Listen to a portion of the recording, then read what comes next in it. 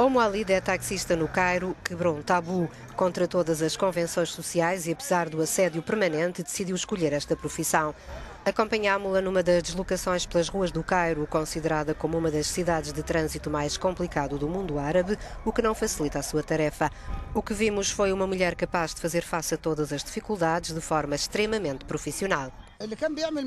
No primeiro dia tive muitos problemas com os outros taxistas porque ficaram surpreendidos por verem uma mulher a conduzir um táxi. O que é isto? diziam. Eu fiquei muito frustrada e voltei para casa. Depois comecei a dizer-me que não tinha que prestar atenção aos comentários deles e deixei de os ouvir quando me chamavam nomes e me ridicularizavam.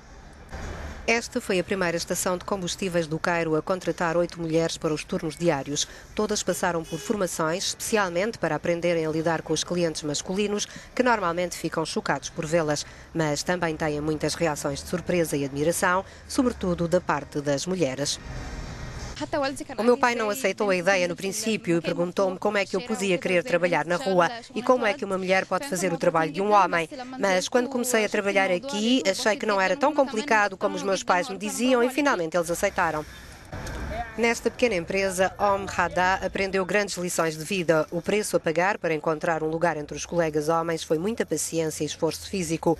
Conseguiu levar todos os que trabalhavam com ela a acreditar no seu potencial e provou que as mulheres não só não são mais fracas, como são capazes de produzir até mais do que os homens. Muitas pessoas estranharam ver uma mulher a trabalhar num trabalho como este e perguntavam-me na rua: por que é que trabalhas? E como é que fazes? Ao fim de alguns anos habituaram-se e agora já me conhecem. Posso dizer que não é vergonha nenhuma as mulheres trabalharem, seja em que trabalho for, desde que não seja ilegal.